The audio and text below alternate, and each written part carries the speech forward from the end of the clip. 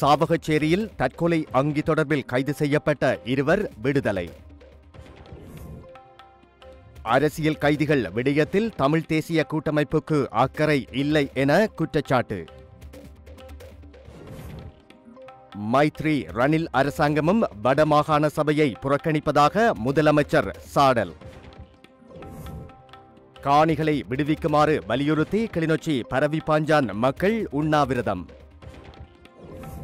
நவம்பரில் நடைபெறவுள்ள அமெரிக்க ஜனாதிபதி தேர்தலை பகிஷ்கரிக்குமாறு வலியுறுத்தி போராட்டங்கள்.